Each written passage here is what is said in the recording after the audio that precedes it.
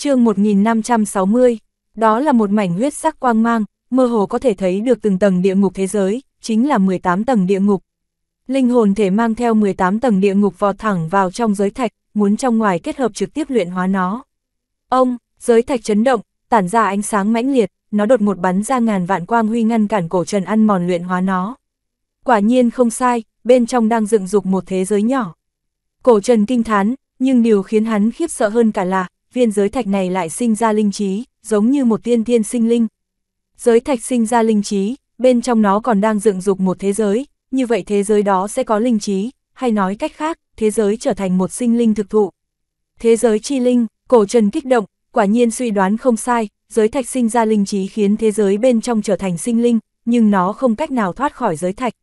Nó vẫn luôn ẩn nấp ở linh giới, hấp thu lực lượng của linh giới thậm chí là của thần thụ, lặng lẽ biến hóa, đáng tiếc đã bị cổ trần phát hiện rồi mang đi. Làm càn, đột nhiên, từ trong giới thạch truyền đến một đạo ý niệm. Giới thạch phát sáng, lực lượng cường đại ngăn trở cổ trần luyện hóa ăn mòn, ngăn cản 18 tầng địa ngục tiến vào. Nhưng cổ trần sao có thể dễ dàng buông tha, chỉ cần luyện hóa nó là hắn có thể thu hoạch được thế giới bên trong, từ đó lĩnh ngộ sự huyền bí của thế giới, nắm giữ được thế giới chi lực. Một khi thành công, tất siêu phàm nhập thánh, cắn nuốt nó, cổ trần lạnh lùng hô lên, linh hồn ý chí cường đại dẫm lên luân hồi ma bản ầm ầm đụng vào phía trên giới thạch, mở ra một lỗ hổng. Cổ trần lập tức xông vào trong, nháy mắt biến mất không thấy tăm hơi. Cổ trần nhắm hai mắt lại, toàn tâm toàn ý bắt đầu luyện hóa giới thạch, linh hồn thể của hắn đang tiến vào một thế giới thần bí. Sâu kiến, sao ngươi dám?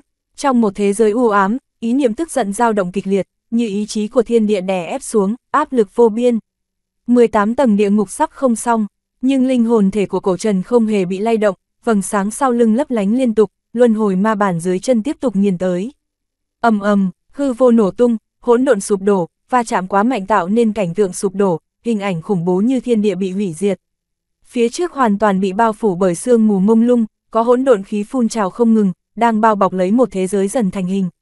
Nó là một thế giới nhỏ, một tiểu thiên thế giới được sinh ra một cách tự nhiên, hiện tại, tiểu thiên thế giới này đã có linh trí của mình, giống hệt một sinh linh. Không rõ giới thạch sinh ra linh trí trước rồi mới dựng dục thế giới, hay dựng dục thế giới rồi mới cho ra đời linh trí, nhưng chuyện đó không quan trọng, bây giờ điều cổ trần cần làm là cắn nuốt luyện hóa tiểu thiên thế giới, dung nhập vào bản thân, giúp bản thân siêu phàm nhập thánh. 18 tầng địa ngục, dung hợp, linh hồn thể của cổ trần quát lớn, 18 tầng địa ngục sau lưng lập tức tràn vào thế giới đang dần thành hình kia. Đây là muốn dung hợp vào trong, bắt đầu luyện hóa.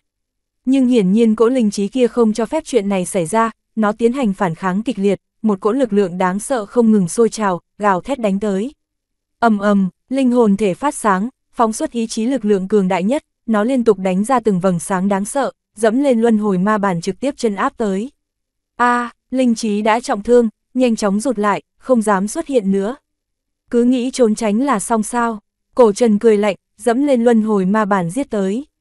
Oanh, tiểu thiên thế giới bắt đầu rung động dữ dội, phát ra từng tiếng vang lớn, bên trong đang diễn ra đại chiến kịch liệt.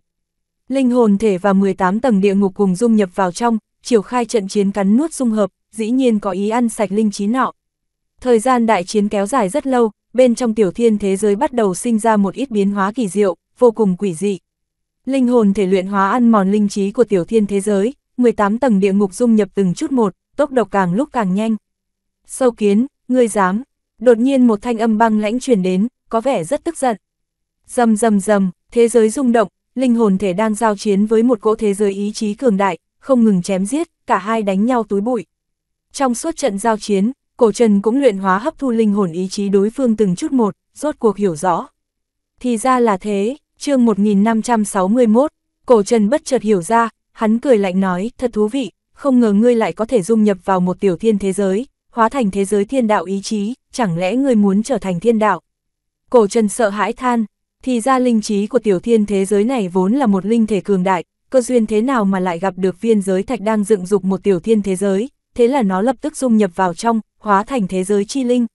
Nó muốn hóa thành một thế giới thiên đạo, trở thành dạng tồn tại duy nhất, trưởng thành cùng với thế giới. Trước đó tại linh giới, nó nấp trong bóng tối liên tục hấp thu linh giới bản nguyên để trưởng thành, hèn gì cả thần thụ và linh giới đều bị áp chế.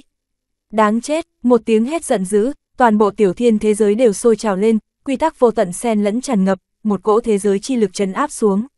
Luân hồi ma bàn, cắn nuốt, cổ trần hét lớn, hắn dẫm lên luân hồi ma bàn nghiền ép, chân áp linh trí kia, cuối cùng, nó bị áp chế, mài mòn, cắn nuốt từng chút một, và cổ trần cũng từng bước nắm giữ được tiểu thiên thế giới.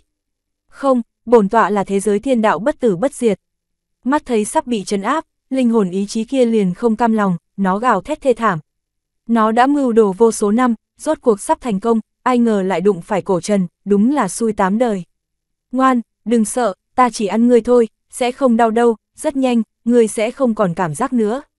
Cổ trần nhàn nhạt an ủi một câu, khiến thế giới chi linh thiếu điều hộc máu mà chết.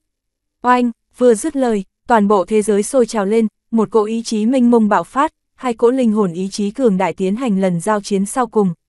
A, từng tiếng kêu thảm truyền đến, bên trong thế giới, linh hồn ý chí cường đại kia liên tục kháng cự, thậm chí ban đầu nó còn áp chế linh hồn thể của cổ trần được một lần, nhưng thời gian qua đi, nó dần rơi xuống thế yếu. Cổ trần không ngừng cắn nuốt ăn mòn thế giới, lực lượng của nó càng ngày càng yếu đi.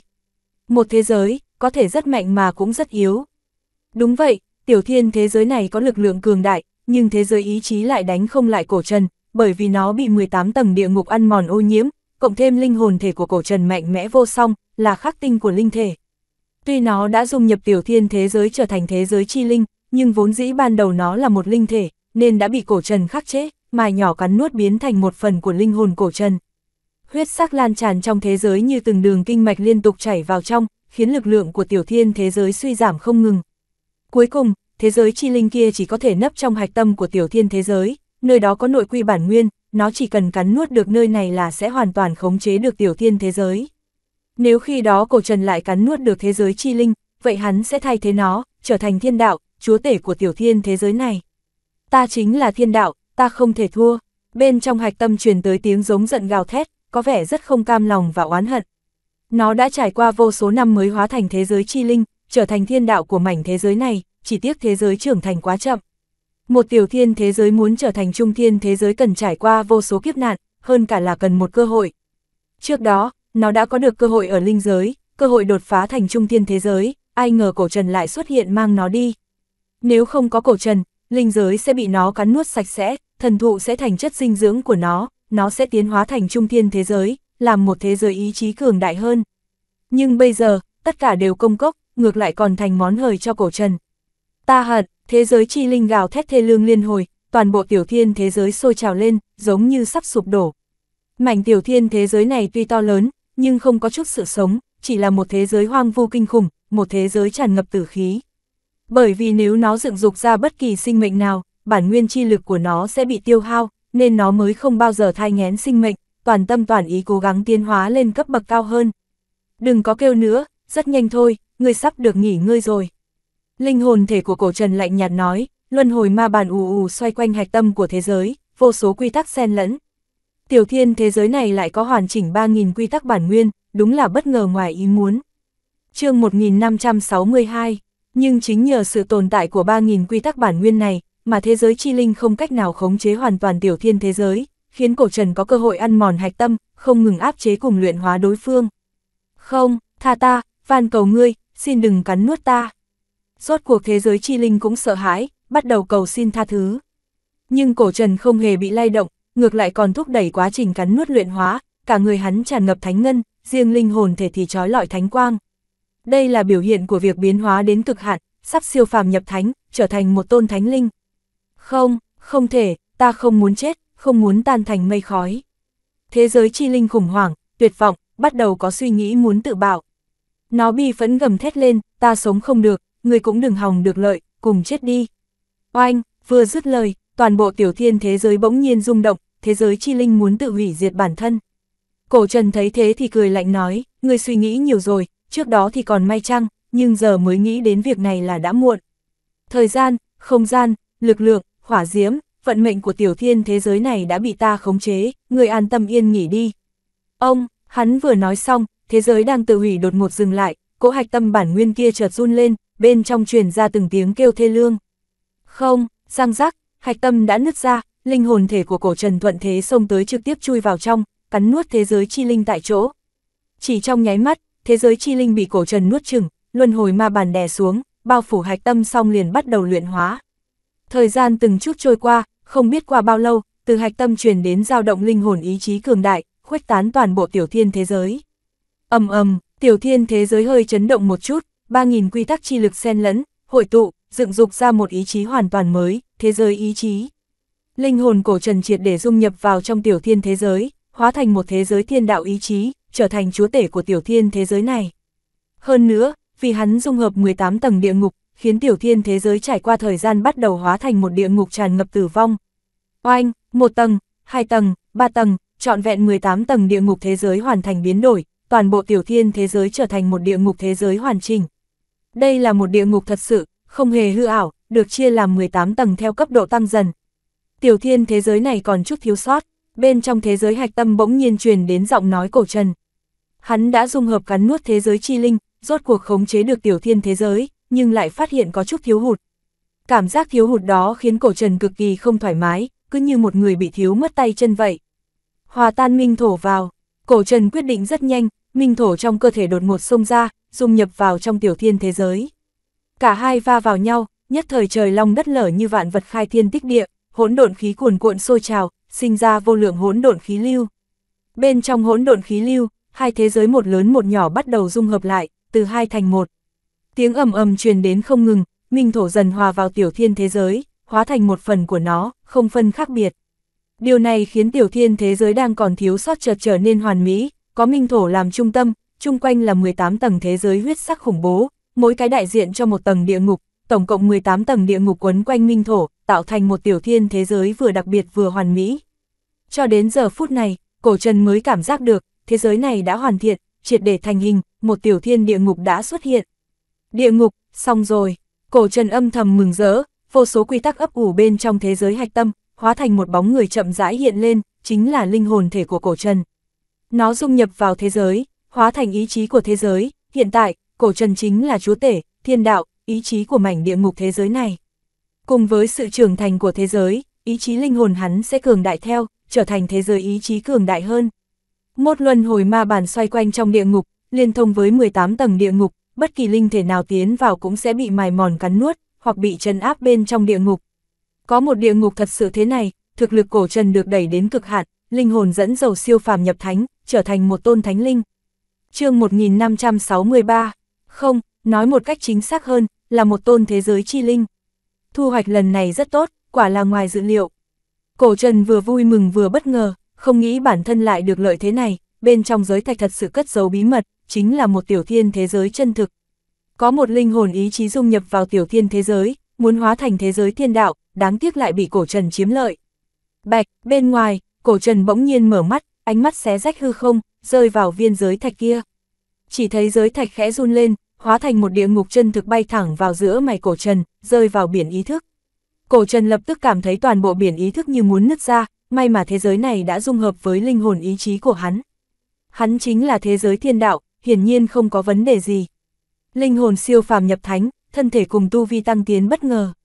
Cổ Trần lẩm bẩm, ánh mắt trở nên nóng rực, hắn biết mình đã đột phá thành công. Linh hồn dẫn đầu siêu phàm nhập thánh, khiến thể phách thay đổi, nhục thân đột phá, thành tựu thánh thể, thân thể thành thánh. Sau đó chính là tu vi, một thân thông thiên tu vi đột phá lần nữa là có thể siêu phàm, có được thánh lực, một tồn tại kiểu thánh nhân. Linh hồn, thể phách, tu vi, ba thứ hợp nhất khiến cổ trần tin chắc chiến lực bản thân đã đạt đến một tầm cao khó có thể tưởng tượng nổi. Tu vi thì dễ, chỉ cần kết hợp tu vi bên trong thân thể với quy tắc chi lực, sau đó biến đổi nó thành thánh lực. Nhưng thể phách lại có chút khó khăn, muốn thân thể thành thánh, cổ trần nhất định phải khai mở một thế giới bên trong thân thể. Nhục thân gánh chịu một thế giới, cùng thế giới hợp hai làm một, thân thể cũng là thế giới, mỗi một cử động đều mang lực lượng của một phương thế giới. Nhưng chuyện đó là vô cùng khó khăn, cổ trần muốn làm được như thế là không hề dễ dàng. Cứ suy nghĩ trước đã, cổ trần lẩm bẩm, hắn cũng không quá vội vàng, hắn cần suy nghĩ cho thật kỹ, cần lĩnh ngộ thế giới chi lực, vừa lúc mượn nhờ 3.000 quy tắc của tiểu thiên thế giới, nói không chừng sẽ đạt được thu hoạch còn lớn hơn. Nếu có thể lĩnh ngộ và khống chế hoàn toàn 3.000 quy tắc, cổ trần sẽ đạt được tiến bộ kinh người. Trước lĩnh hội quy tắc, lĩnh ngộ thế giới chi lực. Cổ trần hít sâu một hơi, cả người yên tĩnh lại, toàn tâm toàn ý dung nhập vào trong tiểu thiên thế giới, bắt đầu lĩnh hội sự huyền bí của thế giới. Một tiểu thiên thế giới ẩn chứa 3.000 quy tắc thế giới bản nguyên, đáng tiếc chỉ có 9 quy tắc bản nguyên là hoàn chỉnh. Trong cung điện dưới lòng đất, toàn thân cổ trần tràn ngập từng đạo quy tắc chi lực.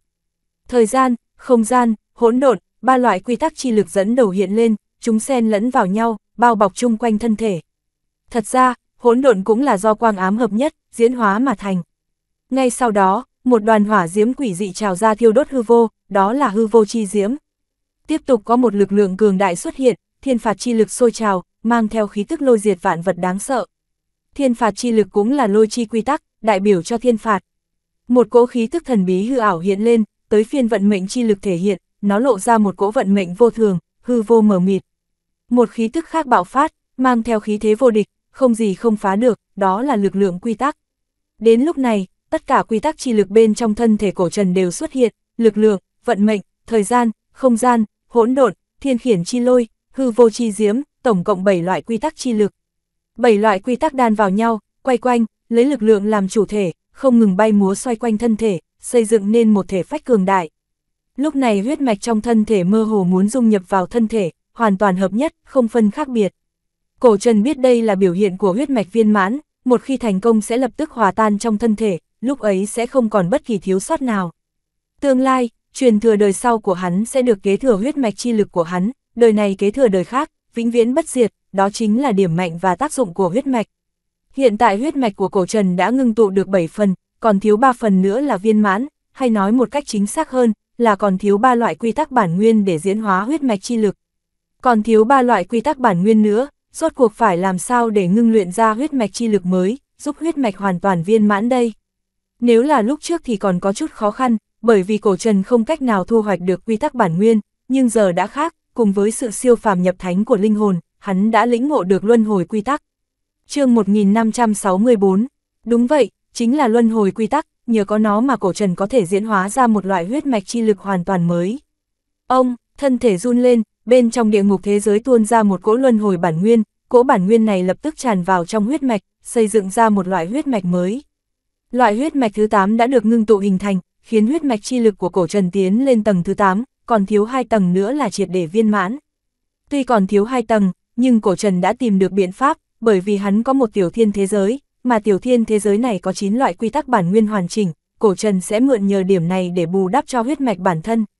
Cổ trần chìm đắm vào trong tiểu thiên thế giới, bắt đầu lĩnh hội 9 loại quy tắc bản nguyên hoàn chỉnh kia. Bên trong tiểu thiên thế giới có 6 loại quy tắc bản nguyên về thời gian và không gian, nhưng cổ trần đã nắm giữ được không gian và thời gian nên hắn không cần, một loại ngũ hành quy tắc, cổ trần cũng không cần, bởi vì hắn đã có quang ám hợp nhất hỗn độn chi lực, hai loại còn lại là hủy diệt quy tắc bản nguyên và cắn nuốt quy tắc bản nguyên, cổ trần rất cần hai loại này. Vậy là đã hoàn chỉnh, hai loại quy tắc bản nguyên là hủy diệt và cắn nuốt bị cổ trần dẫn dắt đi ra, trực tiếp luyện hóa, hấp thu, tách chúng ra khỏi tiểu thiên thế giới. Tuy làm vậy sẽ khiến tiểu thiên thế giới đã viên mãn thành thục bị giảm sút lực lượng, nhưng việc bù đắp cho huyết mạch của cổ trần càng quan trọng hơn, và lại tiểu thiên thế giới bị thiếu mất hai loại quy tắc bản nguyên cũng có thể chậm rãi bù đắp trở lại sau. Ông, tiểu thiên thế giới, địa ngục hạch tâm, một đoàn quy tắc bản nguyên bị tách ra, bùng tỏa khí tức hủy diệt vạn vật. Đây chính là hủy diệt quy tắc bản nguyên, cổ trần vừa tách nó ra liền hấp thu nó vào trong thân thể, bắt đầu luyện hóa dung nhập vào huyết mạch. Dưới sự áp chế cùng lúc của 8 loại quy tắc chi lực, hủy diệt quy tắc bản nguyên chi lực không cách nào chống lại, bị luyện hóa rất nhanh. Xì xì, bên trong huyết mạch dần dần thai ngén ra một loại huyết mạch chi lực mới, nó tỏa ra khí tức khủng bố hủy diệt vạn vật, chính là hủy diệt chi lực. Một tia hủy diệt chi lực được sinh ra, trưởng thành, cuối cùng hóa thành một loại huyết mạch hoàn toàn mới của cổ trần, loại huyết mạch chi lực thứ 9. Tiếp theo là cắn nuốt chi lực, loại quy tắc này rất đáng sợ, trên lý luận nó có thể cắn nuốt vạn vật, thậm chí cắn nuốt toàn bộ thế giới. Nhưng dù sao nó cũng chỉ là một đạo quy tắc bản nguyên, dưới sự chân áp của 9 loại huyết mạch quy tắc chi lực cường đại, nó không có chút sức phản kháng nào, bị luyện hóa dung nhập vào trong huyết mạch một cách nhanh chóng.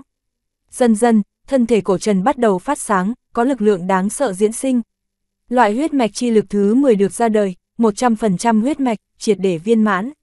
Ông, trong khoảnh khắc loại huyết mạch chi lực thứ 10 được sinh ra, cả người cổ trần như bị xé nát, 10 loại huyết mạch chi lực bên trong cơ thể đồng loạt sôi lên, gào thét, trở nên hỗn loạn. 10 loại huyết mạch đại diện cho 10 loại quy tắc chi lực, không loại nào chịu thua loại nào, bắt đầu đánh đấm lẫn nhau. Huyết mạch chi lực trong cơ thể bạo loạn, cổ trần thất kinh, không ngờ việc huyết mạch viên mãn lại tạo nên hỗn loạn, ngay cả hắn cũng không cách nào áp chế nổi. Vậy phải làm sao bây giờ? Nếu cứ để mặc chúng đánh nhau, rất có thể thân thể sẽ sụp đổ, thậm chí nổ tung lên. Nhưng cổ trần bình tĩnh không loạn, hắn cố gắng tỉnh táo xử trí. Linh hồn cường đại của cổ trần đột ngột buông xuống, một cỗ thế giới ý chí bao phủ thân thể, thế giới chi lực cường đại lập tức cầm giữ thân thể hắn. Giờ khắc này, linh hồn ý chí của cổ trần dùng ưu thế tuyệt đối chân áp hoàn toàn 10 loại huyết mạch chi lực đang hỗn chiến kia lại. Giang giác, giang giác, rất nhanh, 10 loại huyết mạch chi lực dần ra tách ra khỏi nhau, hòa vào cơ thể, không phân biệt đấu đá nhau nữa. Huyết mạch viên mãn hoàn toàn, khiến cổ trần có được trải nghiệm vô cùng to lớn, hắn cảm giác thân thể mạnh lên rất nhiều. Đó là cảm giác kỳ diệu của thân thể thành thánh, sắp siêu phàm nhập thánh. 10 loại huyết mạch chi lực dung nhập toàn bộ vào trong thể phách, tạo thành hiện tượng đáng sợ, khiến nhục thân thể phách cổ trần trở nên cực kỳ khủng bố. Thân thể thành thánh, chuyện này đáng sợ đến cỡ nào, thế giới chi lực, thì ra đây chính là thế giới chi lực. Cổ trần đã chính thức hiểu rõ sự huyền bí của thế giới, rốt cuộc nắm giữ được thế giới chi lực, chân chính bước vào đẳng cấp siêu phàm nhập thánh. chương 1565, dưới sự dung nhập của 10 loại huyết mạch chi lực, thể phách hắn được đẩy mạnh, thiếu chút nữa thôi là thân thể hắn có thể thành thánh. Nhưng cổ trần không làm vậy, bởi vì hắn đã có lựa chọn tốt hơn, đó là khai mở thế giới bên trong thân thể, tiếp tục dung hợp thân thể, đánh vỡ hàng rào, trở thành thánh thể mạnh nhất. Còn về tu vi, cổ trần không hề lo lắng, một khi thân thể hắn thành thánh, tất nhiên sẽ kéo theo tu vi đột phá, trực tiếp bước lên đẳng cấp càng cao hơn. Hiện tại, hắn mơ hồ có dấu hiệu đột phá, phía trên hư không, một cỗ quy tắc xuất hiện, có lực hút cường đại ập tới đánh thức cổ trần.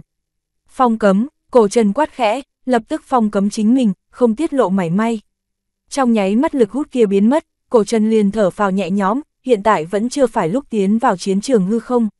Hắn còn chưa sắp xếp xong mọi thứ, hiển nhiên chưa an tâm rời đi. Xem ra không áp chế được bao lâu nữa. Cổ trần lẩm bẩm, cảm giác bản thân không cầm cự được lâu, chẳng mấy chốc sẽ phải gia nhập vào chiến trường hư không. Nghĩ đến đó, cổ trần đứng ngồi không yên, hắn còn phải chuẩn bị rất nhiều thứ. Đầu tiên là phòng ngự an toàn cho bộ lạc, mặc kệ là Bách Man Sơn, Vạn Thạch Lĩnh, hay hỗn loạn Thiên Uyên, Bắc Cương, Tây Mạc, đều cần quy hoạch thật tốt một phen. Thế lực nhân khẩu của hoang cổ tộc ngày càng lớn mạnh, nhưng lực lượng vẫn rất nhỏ yếu, cổ trần phải nghĩ ra một số biện pháp phòng ngự thật tốt thì mới yên tâm được. Hoa Hoàng, Hình Chiến, Long Uyên, Câu Trần, Tử Vi, Man Phi, Hắc Thổ, Tổ Long, Tiểu Bạch, Khổng Tước, Mặt Sẹo, mau tới gặp ta.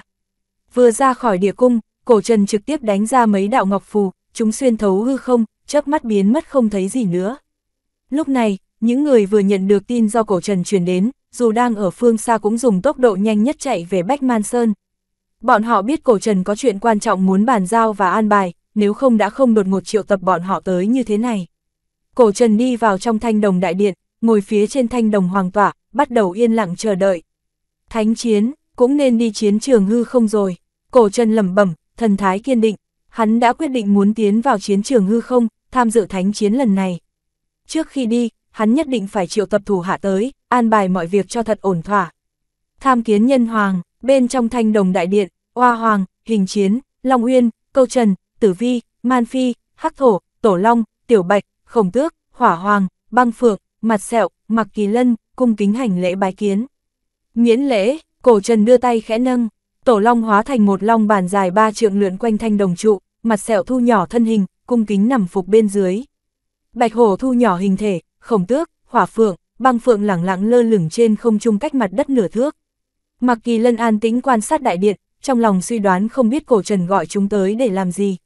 Không những thế, nơi này không chỉ có bọn chúng, còn có Tây Mạc Hoa Hoàng, Nam Cương hình tộc hình chiến, có cả các chiến tướng dưới trướng cổ trần như Long Nguyên, Câu Trần, Tử Vi, Man Phi, Hắc Thổ. Trong số có mặt ở đây, ắt hẳn chỉ Hoa Hoàng và Tổ Long mới biết cổ trần gọi mọi người tới là để làm gì. Chư vị, trầm mặc thật lâu, cổ trần chậm chậm mở miệng, lần này triệu tập mọi người đến là có một việc muốn tuyên bố. Bản hoàng quyết định, chinh chiến hư không, lời này vừa được thốt ra, tất cả chấn kinh, sắc mặt biến đổi. Chinh chiến hư không, không tước, hỏa hoàng, băng phượng biến sắc mặt, có chút kinh hãi. Mặc kỳ lân thì kinh ngạc vạn phần, nó nhìn cổ trần, hỏi, nhân hoàng muốn tham dự thánh chiến sao, đúng vậy, bản hoàng muốn trinh phạt hư không, tham dự thánh chiến.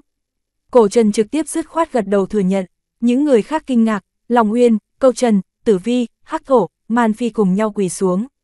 Chúng ta nguyện đi theo nhân hoàng, trinh phạt hư không. Năm người gọn gàng linh hoạt, thần thái kiên nghị muốn theo cùng nhân hoàng.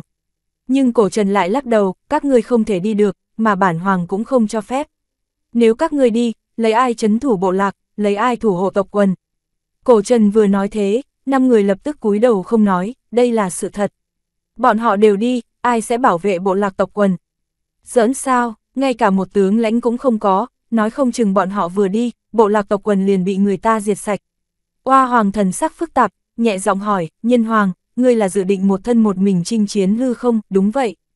chương 1566, cổ trần gật đầu thừa nhận, ánh mắt hắn đảo qua mọi người, chậm chậm nói ra, hiện nay, nhân tộc ta luôn thất bại trong thánh chiến, bởi vậy bản hoàng quyết định trinh phạt chiến trường hư không, đánh thắng trận thánh chiến này. Hoa hoàng, sau khi bản hoàng đi, Tây Mạc nhân tộc sẽ giao cho ngươi. Cổ Trần nhìn thẳng vào Hoa Hoàng, sắc mặt Hoa Hoàng khẽ biến, thật ra nàng muốn cùng Cổ Trần tiến vào chiến trường hư không, nhưng nhìn tình hình thì có vẻ chuyện này là không thể. Tây Mạc cần người chấn thủ, mà một mình nữ anh là không đủ. Vâng, Hoa Hoàng cúi đầu lên tiếng, xem như đáp ứng. Cho dù nàng không muốn đến mức nào cũng phải lưu lại, không vì cái gì khác, chỉ vì Tây Mạc cương thổ, chỉ vì trợ giúp cổ trần, vì nhân tộc và vì chính nàng. Lúc này, Nam Cương hình chiến khá chấn động, lần đầu tiên hắn tới nơi này, lại nghe cổ trần nói muốn tiến vào chiến trường hư không, trong lòng chấn động là điều dễ hiểu. Hình chiến, cổ trần xoay sang nhìn hắn, hình chiến lập tức đứng ra, chắp tay nói, nhân hoàng có gì phân phó, trên dưới hình tộc dẫu chết cũng không từ. Cổ trần mỉm cười gật đầu, hỏi tình huống phía Nam Cương si hoàng thế nào rồi, si hoàng. Sắc mặt hình chiến có chút khó coi, hắn hử lạnh nói, tên kia đi về phía Nam, rời khỏi Nam Cương, hắn mang theo hầu hết tộc nhân. Đi về phía Nam, ánh mắt cổ trần lấp lóe, hắn lẩm bẩm muốn đi Nam hỏa vực sao. Đáng tiếc, cuối cùng không phải người chung đường. Thôi được rồi, vậy Nam Cương giao cho hình tộc ngươi, bản hoàng sẽ di chuyển một phần tộc nhân qua đó, đồng thời vận chuyển một ít binh khí chiến giáp tư nguyên cùng tinh nhuệ qua. Cổ Trần trực tiếp quyết định, Nam Cương giao cho hình tộc. Chợt Cổ Trần nhớ tới gì đó, hắn hỏi, đúng rồi, hình thiên đâu? Sao không thấy người dẫn nó đến? Hình chiến nghe xong lúng túng, giải thích nói, nhân hoàng, con ta nói muốn đi theo nhân hoàng chinh chiến bát hoang, ta để nó rời khỏi bộ lạc, tự mình xông pha rồi. Hiện tại ta không biết nó đang ở đâu. Ồ, cổ trần nghe xong kinh ngạc, gật gật đầu nói, như thế cũng tốt, có lẽ nó sẽ tìm ra con đường vô địch dành cho mình, tương lai sáng lạng. Tổ Long, phía bên Long tộc thế nào? Cổ Trần quay qua hỏi Tổ Long, đây là phân thân của hắn, nhưng cũng cần ra vẻ một chút. Tổ Long ngẩng đầu, mở miệng nói, Long tộc không có vấn đề gì, những kẻ không thần phục đã bị dọn dẹp sạch sẽ, hầu hết Long tộc ở Tứ Hải Bát Hoang đều nghe lệnh ta. Cổ Trần mỉm cười gật đầu, Long tộc là một cỗ lực lượng khổng lồ, có thể nắm giữ được thật không dễ dàng, đây là nhờ vào thân phận và lực lượng của Tổ Long. Tiểu Bạch, chỗ ngươi thì sao? Cổ Trần nhìn về phía Bạch Hổ, chỉ thấy nó hưng phấn nói, chủ nhân, ta chuẩn bị tiến vào Bạch Hổ tổ cảnh, nghe Bạch Hổ tộc đại trưởng lão nói bên trong có truyền thừa do Bạch Hổ đời trước lưu lại. Rất tốt, con đường tương lai của ngươi là do ngươi quyết định. Cổ Trần Tán thường khích lệ một phen, các ngươi thì sao, tình huống bên Phượng Hoàng tộc ổn chứ? Hắn nhìn về phía khổng tước, hỏa hoàng, băng phượng. Khổng tước vỗ cánh, ôn nhu nói, nhân hoàng, ta vừa thu được khổng tước truyền thừa, địa vị của ta tại Phượng Hoàng tộc cũng tạm được, nhưng không cách nào lãnh đạo Phượng Hoàng tộc. Ta cũng thế, hỏa hoàng gật gật đầu nói. Băng Phượng thì khổ não nói, ở Phượng Hoàng tộc, ta căn bản là không được các tộc nhân khác chào đón. Nhưng mà tháng sau, Phượng Tổ muốn mở Phượng Hoàng Tổ ra, chọn lựa bồi dưỡng Phượng Tổ đời sau. Khổng tước nhẹ giọng đề cập đến chuyện này, Phượng Hoàng tộc Tổ Phượng đã già rồi, nên cần bồi dưỡng cho đời kế tiếp, cũng giống như Long tộc Tổ Long vậy. Phượng Hoàng tộc Phượng Tổ chuẩn bị niết bàn lần cuối cùng, sắp biến mất, điều này có nghĩa Phượng Tổ đời sau sắp xuất thế, mà từ trước đến nay Phượng Tổ Niết Bàn luôn để lại bản nguyên tịnh hóa cho Phượng Tổ đời sau, tương đương với một loại truyền thừa, bởi vậy Phượng Tổ nhiều đời đều vô cùng cường đại. Ta rất hy vọng một trong ba các ngươi có thể trở thành Phượng Tổ đời sau, dẫn dắt Phượng Hoàng tộc. Cổ Trần mở miệng nói ra kỳ vọng của mình, đối với khổng tước, băng phượng, hỏa hoàng, hắn có kỳ vọng rất lớn, dẫu sao hắn cũng đã tiêu phí rất nhiều tư nguyên và thần huyết cho chúng. Vâng, chủ nhân, khổng tước, hỏa hoàng, băng phượng cùng nhau lên tiếng. Cổ trần đưa mắt nhìn vào mặt sẹo, con bạo long này vừa trông thấy chủ nhân nhìn mình liền hưng phấn hẳn lên. Mặt sẹo, nhóm hung thú do ngươi nắm giữ sao rồi? Đến giờ cổ trần vẫn rất ngạc nhiên khi bạo long thu phục được đám hung thú kia. chương 1567, mặt sẹo tràn đầy cung kính nói, chủ nhân, nhóm hung thú không có vấn đề gì cả, tất cả đã ẩn mình trong núi rừng, hơn nữa số lượng còn ngày một tăng. Rất tốt, cổ trần hài lòng gật đầu. Hắn nhìn về phía Mạc Kỳ Lân, hỏi, ngươi là nhi tử của Kỳ Lân Hoàng, số lượng của Kỳ Lân tộc lại không nhiều, tình huống phía bên đó thế nào? Mặc kỳ lân cười khổ nói, kỳ lân tộc chia làm bát đại hoàng tộc, trước mắt đã liên hợp cùng một chỗ, chuẩn bị mở ra kỳ lân tổ động, lần này ta vào đó, không biết có còn mạng để trở ra không nữa. Kỳ lân tổ sao, cổ trần như có điều suy nghĩ nói ra, chẳng qua là truyền thừa thôi, nếu ngươi không thể thành công, vậy thật quá mất thể diện. Mặc kỳ lân nghe thế liền cực kỳ xấu hổ, nó nói ta nhất định có thể thu được truyền thừa, trở thành đệ nhất kỳ lân tổ đời này. Cổ trần không nhiều lời, hắn nhìn những kẻ bên dưới đang dùng vẻ mặt nghiêm túc nhìn hắn, chậm rãi nói, lần này bản hoàng chinh chiến hư không, an nguy nhân tộc cần mỗi người các ngươi chung sức hợp tác, thủ vệ các phe an toàn. Thề sống chết bảo vệ, tất cả nghiêm túc đáp lời, biểu thị quyết tâm, đây là bản hoàng chuẩn bị cho các ngươi trước khi đi, hiện tại giao cho các ngươi. Cổ Trần nói xong, lần lượt giao từng chiếc nhẫn chữ vật cho từng người, bao gồm tổ long, bạch hổ, khổng tước, hỏa hoàng, băng phượng, kỳ lân, mặt sẹo. Những thứ trong này là bản hoàng chuẩn bị cho các ngươi, mong các ngươi đừng để bản hoàng thất vọng. Bái tạ nhân hoàng, sẽ tận khả năng bảo vệ nhân tộc. Tất cả mọi người nghiêm nghị lĩnh mệnh, ai nấy đều biết, bảo vật mà cổ trần cho chắc chắn không tầm thường. Cổ trần nhìn mọi người, khoát tay nói, được rồi, những gì cần nói đã nói hết, các người trở về đi, không được tiết lộ bất kỳ tin tức gì về bản hoàng. Tuân lệnh, tất cả mọi người lĩnh mệnh, đồng loạt quay người rời khỏi thanh đồng đại điện. Tổ Long, Bạch Hổ, Khổng Tước, Hỏa Hoàng, Băng Phượng, mặt sẹo lần lượt rời đi, biến mất trong nháy mắt. Nhân Hoàng, ta cáo từ trước, hình chiến cung kính thi lễ xong mới rời khỏi đại điện. Ngô Hoàng, chúng ta cáo lui. Lúc này, Lòng Uyên, Câu Trần, Tử Vi cũng cáo từ, mỗi người trở về nơi mà mình đang tọa chấn. Bấy giờ chỉ còn lại một mình Hoa Hoàng, thần sắc nàng phức tạp, ánh mắt nhìn vào cổ trần có chút không nỡ. Người bảo trọng Hoa Hoàng nhìn thật sâu mắt cổ trần, quay người dứt khoát rời đi. Bóng người nàng lóe lên, biến mất không thấy gì nữa, không có nhi nữ tình trường, càng không có thêm lời thừa thãi.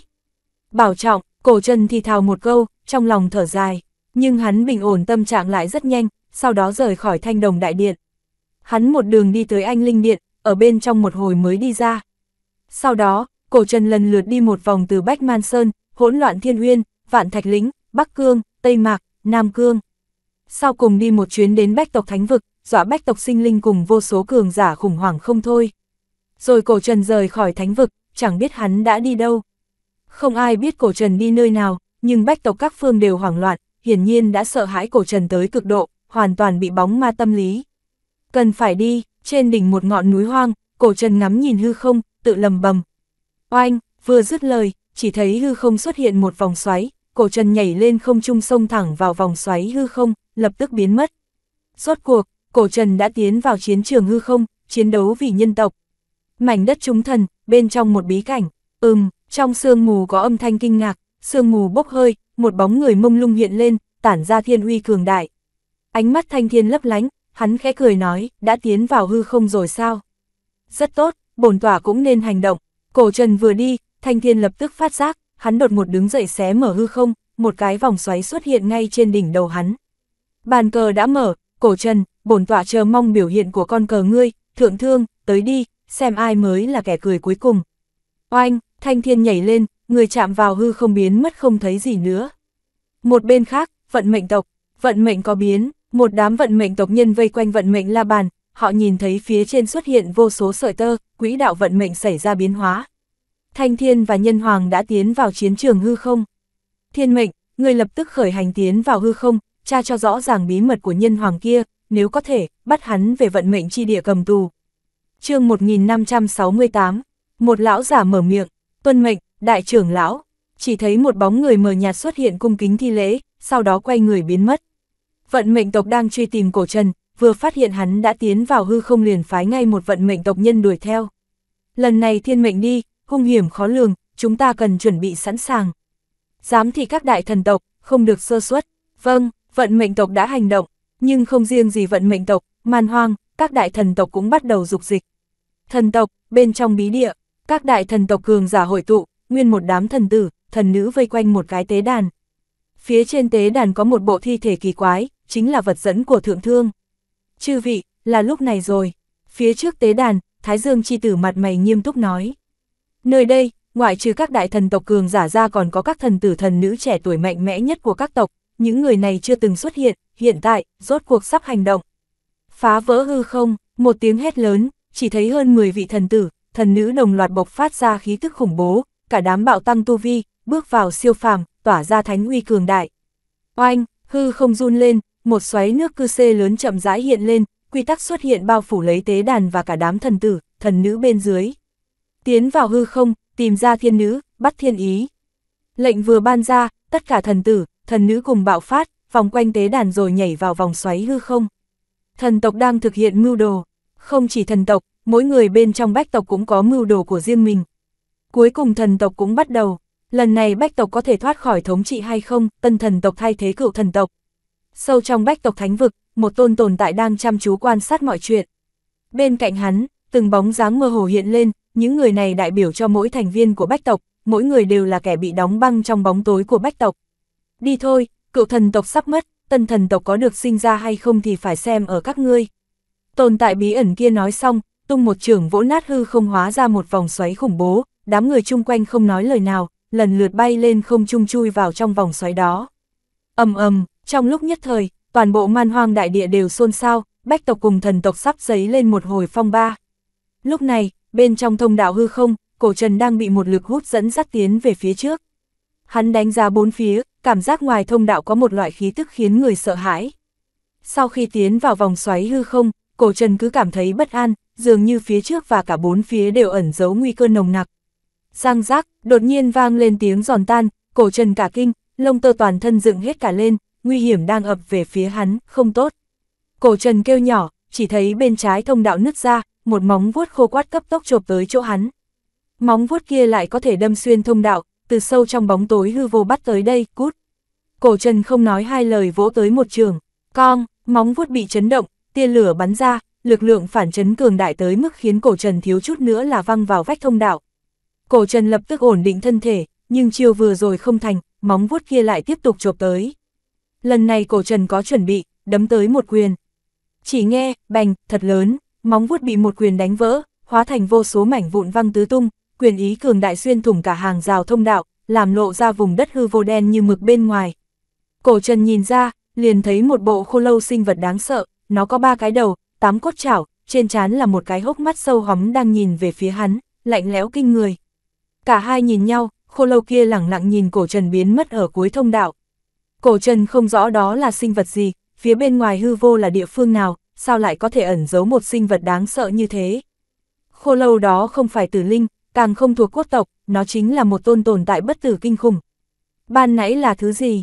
Cổ trần sắc mặt ngưng trọng, hắn cảm nhận được nguy hiểm đến từ khô lâu kia, một sinh vật tồn tại được trong hư vô, chắc chắn là một thứ đáng sợ. May mà hắn tránh được, oanh, thế nhưng không để cổ trần lơi lỏng được lâu, lối đi phía trước chợt truyền đến tiếng nổ vang, cả thông đạo đột nhiên sụp đổ. Nhìn thông đạo sụp đổ từng chút một, cổ trần biến sắc mặt. Mở, chương 1569, cổ trần vung song quyền đánh xuyên thông đạo, một đường tăng tốc xông tới, lực lượng cường thế vô song đó liên tiếp phá thông phía trước đã bị bít kín. a từ trong hư vô truyền tới tiếng kinh ngạc, dường như có tồn tại nào đó đã chú ý đến cổ trần. Thật thú vị, lại còn có thể đánh thông thông đạo, bản tôn thật muốn nhìn xem ngươi có thể làm được bao lâu. Cùng với tiếng hừ lạnh, một bàn tay to đen như như mực quét tới, ầm ầm đánh sập thông đạo, một lần nữa bít kín thông đạo cổ trần vừa mới khơi thông. Lực lượng cường đại tàn phá bừa bãi, xé nát thông đạo, cổ trần đã ở ngoài thông đạo, chỉ có bóng tối hư vô bao trùm hết thảy. Mở một hai mắt cổ trần bốc lên hào quang rừng rực, hắn vung quyền liên tiếp, trong phút chốc đánh ra hơn vạn quyền, quyền thế đánh xuyên hư vô, đánh nát hắc ám, một đường giết qua. Là ai ở trong bóng tối rình dập ta?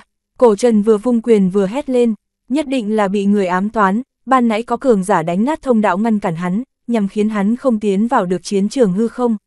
Nơi này là mảnh đất hư vô, tĩnh mịch chết chóc, bất kỳ sinh linh nào ngã vào đây đều sẽ bị chìm ngập, đồng hóa biến mất. Trừ phi người có thực lực cường đại, không bị hư vô đồng hóa, nếu không chỉ có duy nhất một kết cục, chết. Dưới nguy cơ trùng trùng, cổ trần bộc phát ra lực lượng cường đại nhất, nhục thân, tu vi, linh hồn, ba lực hợp nhất, nắm đấm phát sáng, quyền sau nhanh hơn quyền trước, trong chốc lát đánh ra hơn 100.000 quyền. Dầm dầm dầm, hư vô nổ tung, nắm đấm của cổ trần sáng rực đánh xuyên hắc ám nơi này, đánh xuyên qua cả thông đạo đã sụp đổ, một lần nữa tiến vào trong thông đạo hư không. Vừa tiến vào, cổ trần chưa kịp thở lấy một hơi đã gặp lại bàn tay lớn nọ, nó mang theo lực lượng băng diệt vạn vật đánh úp về phía cổ trần. Cả thông đạo lại bị đánh nát, đáng chết, tốt nhất ngươi đừng để ta biết ngươi là ai. Cổ trần giống to, tung quyền đánh tới, ầm ầm, Toàn bộ thông đạo nổ tung, hư vô hỏng mất, lực lượng cường đại phát tiết tạo nên dao động khủng khiếp. Bàn tay lớn kia sụp đổ biến mất, cổ trần lại mất đi phương hướng, không thấy thông đạo hư không đâu nữa. Hắn rơi vào mảnh đất hư vô, hoàn toàn mất đi phương hướng, không cách nào tiến vào thông đạo hư không đồng nghĩa với việc không tới được chiến trường hư không, chỉ có thể vĩnh viễn trầm luân ở chỗ này. Hư, dám khinh nhờn tôn thần, đáng chém. Trong bóng tối truyền đến tiếng hừ lạnh, dần dần tan đi, ánh mắt cổ trần sáng lên, rốt cuộc hắn đã nắm bắt được chút khí thức kia.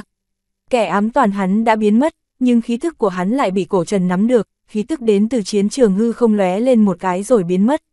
Thời không hợp nhất, vận mệnh chỉ dẫn, mở, cổ trần hét lớn, ba cỗ quy tắc chi lực bạo phát, thời gian, không gian trong nháy mắt hợp nhất, ngay sau đó vận mệnh chi lực hóa thành một luồng sáng xông phá hắc ám.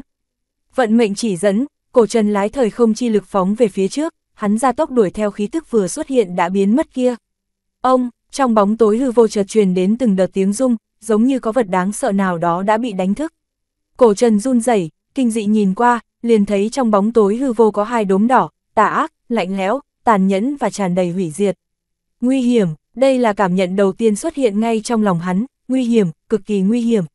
Loại nguy cơ này chưa từng xuất hiện, ngay cả khi hắn đối mặt với tôn tồn tại bí ẩn ở sâu trong thánh vực, cũng không kinh khủng và mãnh liệt như thế. Vật trong bóng tối kia là gì? Sao lại có thể mang đến cho hắn cảm giác nguy hiểm đến vây?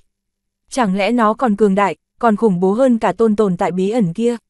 Không kịp ngẫm nghĩ nữa, toàn thân cổ trần chấn động, quy tắc dày đặc xuất hiện ngoài thân thể, lực lượng bên trong bạo phát toàn bộ. Nhất lực phá vạn pháp, mở, cùng với tiếng rít của hắn, lực lượng, tu vi, ý chí đồng loạt bạo phát, hắn tung ra một quyền mạnh nhất.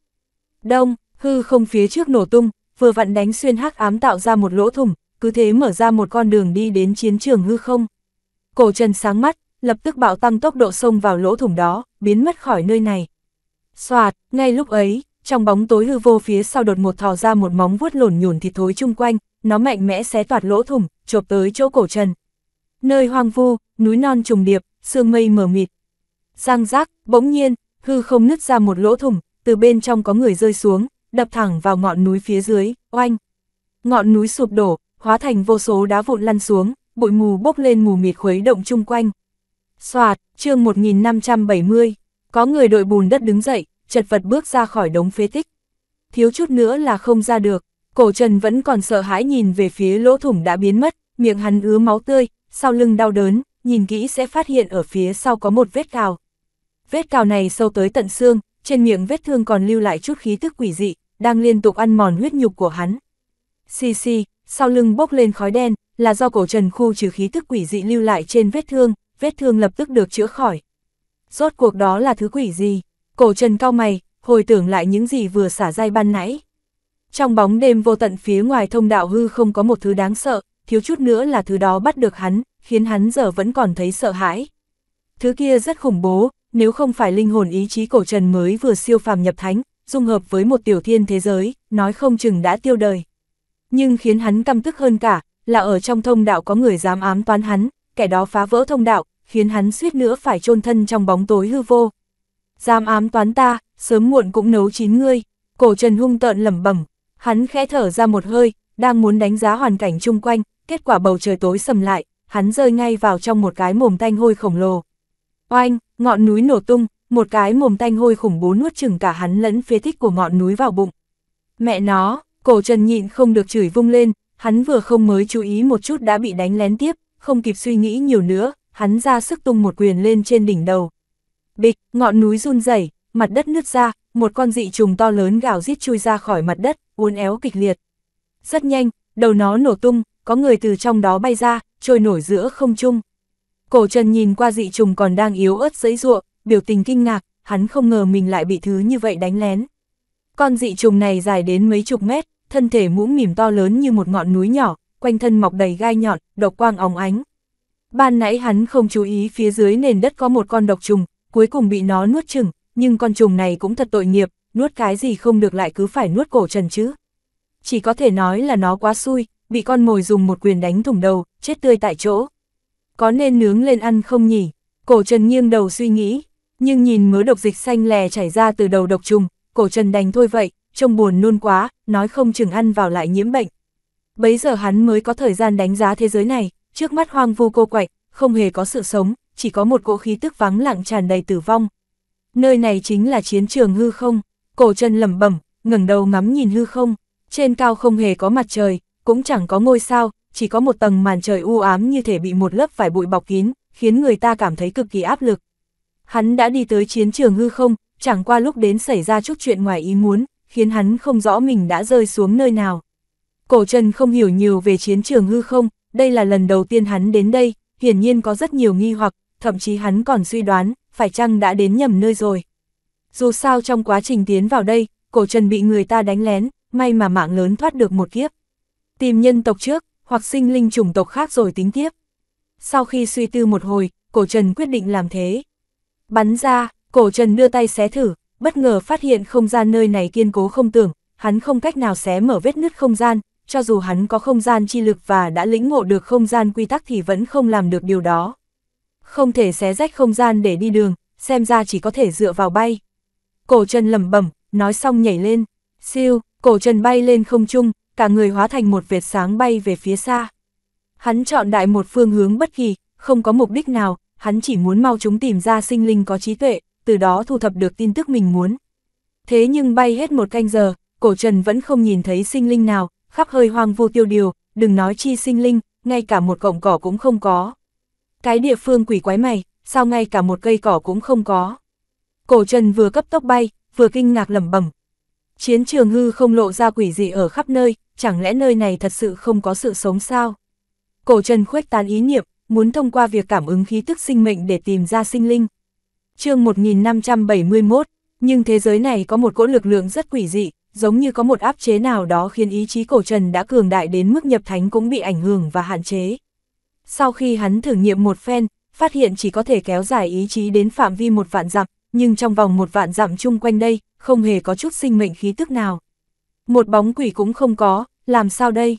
Sau hai canh giờ, cổ trần vượt qua tổng cộng mấy vạn dặm, vẫn không trông thấy bất kỳ sinh mệnh nào, thậm chí một cành cây ngọn cỏ cũng không. Khắp nơi mênh mông hoang vu, mặt đất nứt nẻ tạo thành vô số khe rãnh, núi non trùng điệp, ngoại trừ độc trùng gặp được trước đó, cổ trần chưa thấy thêm một sinh vật sống nào. Bạch, sau một khắc, cổ trần rơi xuống một ngọn núi, hắn ngắm nhìn nơi xa, nhưng cảnh tượng trong tầm mắt của hắn đều toàn là hoang vu. Mẹ nó chứ, cứ vậy là sao? Cổ trần có chút khó chịu lầm bẩm hắn nhìn chung quanh, cố gắng phân biệt phương hướng, nhưng kỳ thật cũng không cách nào phân biệt rõ ràng.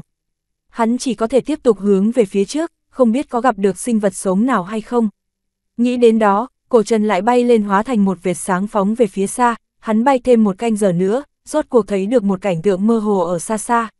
Ở phương xa có một vệt xanh biếc hiện lên, một cỗ sinh mệnh khí tức đập vào mặt, khiến tinh thần cổ trần chấn động.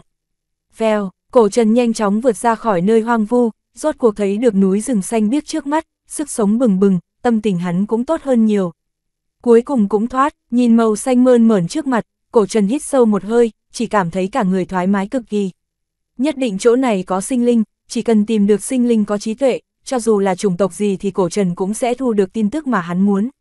Đông, ngao, đang nghĩ ngợi, đột nhiên nơi xa truyền đến một tiếng rít, đồng thời xuất hiện chấn động khiến núi rừng run rẩy, có thể thấy được bụi bặm bốc lên ngập trời. Có sinh linh đang kịch chiến, ánh mắt cổ trần sáng lên, rốt cuộc cảm ứng được khí thức của sinh linh. Đây là một tin tức tốt, hơn nữa còn là hai sinh linh mạnh mẽ đang kịch chiến. Bạch, hắn bước ra một bước, người đã biến mất tại chỗ, hắn cấp tốc phóng về phía hai cỗ khí tức cường đại kia. Nơi xa, hai hung thú khổng lồ đang chém giết lẫn nhau, đánh rất kịch liệt. Oanh, ầm ầm, hai hung thú có thân thể to lớn, lực lượng đáng sợ, chúng đánh cho núi lở đất nứt, bụi mù cuồn cuộn ngút trời, che mất cả thương khung. Ngao, một hung thú giống lên hung dữ, nó há to miệng cắn về phía đối thủ. Hung thú này có tướng mạo dữ tợn, đầu giống như cá sấu, thân thể lại giống như một con nhím, mọc đầy gai nhọn hoắt. Đối thủ của nó là một con ma viên hung bạo, toàn thân đen như mực, lông dựng đứng, ánh mắt đỏ bừng, đằng đằng sát khí. Đông, ma viên tung tới một quyền, đánh cho con mãnh thú kia kêu to đau đớn, miệng méo sang một bên. Ma viên, cổ trần đang chạy tới kinh ngạc, hắn thấy ma viên trước mắt có thân thể lớn như núi, cao đến 30 mét, hai cánh tay vung vẩy khiến cát bay đá chạy. Giống, ma viên gào thét, bỗng nhiên nâng một ngọn núi đá lên hung đăng đập xuống đầu hung thú kia. ầm ầm, đá vụn bắn tung tóe, bụi bặm mù mịt, con hung thú to lớn bị đánh đến nổ đom đóm mắt, máu me trào ra, nó tức giận gào thét há mồm đớp tới. Ma viên bị cắn trúng tay, hàm răng sắc bén đó cắn xuyên huyết nhục nó, lực lượng cường đại hất tung nó lên khỏi mặt đất. ầm ầm, hai quái vật khổng lồ kịch liệt chém giết, thanh thế to lớn, lực lượng cường đại khiến cổ trần cũng phải kinh thán. Hai con hung thú này lại có thực lực bán thánh, quả là không thể tin nổi, cổ trần vừa mới đến đã đụng ngay phải hai con hung thú đẳng cấp bán thánh.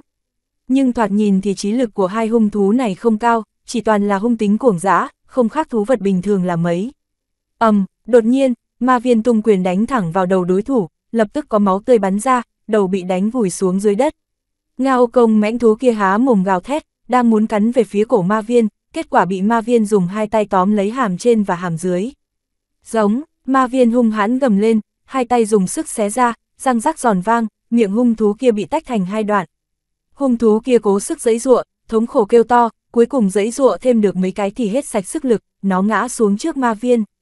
Cổ Trần nhìn đến đây, hai mắt sáng lên, ma viên này đúng là không tệ, chiến lực rất mạnh, cho dù là thân thể, thể phách hay lực lượng đều cực kỳ hung tàn. chương 1572, Cổ Trần đã nhìn ra ma viên và hung thú kia hoàn toàn là sức mạnh cơ bắp thuần túy, vậy mà lại có được thực lực bán thánh, đủ biết bọn chúng hung hãn cường đại đến mức nào. Mà trong cơ thể hai hung thú này có một lực lượng bí ẩn, vô cùng cường đại, giống như lực lượng quỷ dị đang tràn ngập trong không khí ở chiến trường hư không này.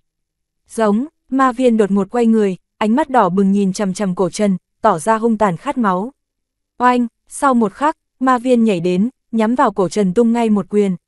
Đến hay lắm, hai mắt cổ Trần nổ bắn ra hai vệt thần quang, lực lượng toàn thân bỗng nhiên bạo phát, hắn bay lên không trung tung quyền đón đỡ. Đông, một cỗ bụi bặm ngập trời, khí lãng cường đại cuốn bay đá tảng chung quanh, hóa thành cát bụi cuồn cuộn tản ra khắp nơi. Ngao, ma viên kêu thảm một tiếng, thân thể cao lớn bị đánh bay ra ngoài, đập vào ngọn núi xa xa, lăn lông lốc mấy vòng mới ngừng lại. Nó ngẩng đầu, trong đôi mắt đỏ bừng ánh lên nét sợ hãi, nó dẫy dụa cố đứng lên. Bạch, sau một khắc, bóng dáng cổ trần lóe lên, hắn rơi xuống trước mặt ma viên, dùng một chân đạp nó xuống đất. Đầu ma viên lún sâu xuống đất, thân thể ra sức dẫy dụa nhưng không cách nào đứng lên, ngược lại còn bị cổ trần đạp lún xuống lòng đất. Thành thật chút đi, cổ trần quát lớn khiến ma viên đang dẫy dụa lập tức yên tĩnh đàng hoàng hẳn. Thấy ma viên đã nằm yên, rốt cuộc cổ trần mới hài lòng thả lỏng chân ra. Ma viên ngẩng đầu, dùng ánh mắt hoảng sợ nhìn chằm chằm cổ trần, nó tỏ ra e ngại đối phương, run lẩy bẩy nằm gục tại chỗ không dám cử động. Không có bao nhiêu trí lực, để ta xem một chút trí nhớ của ngươi.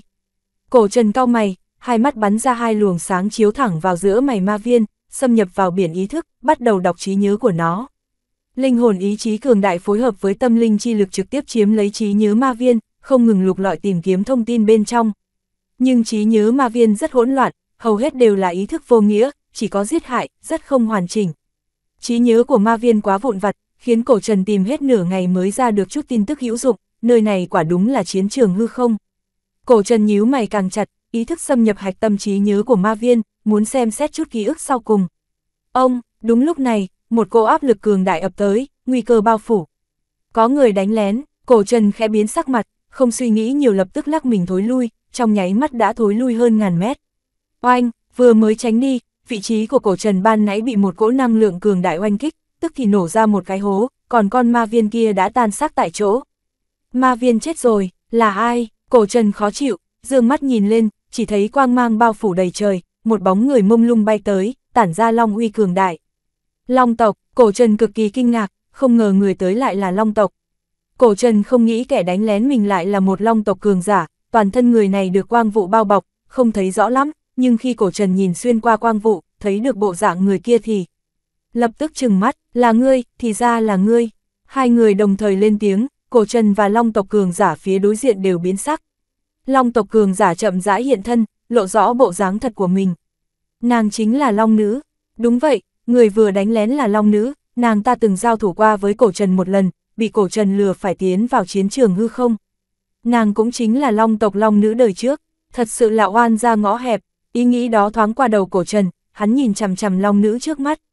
Nhân hoàng, cổ trần, ánh mắt long nữ trở nên lạnh lùng, trên trán xuất hiện một đôi sừng rồng trong suốt sáng long lanh, tỏa ra sát khí lạnh thấu xương.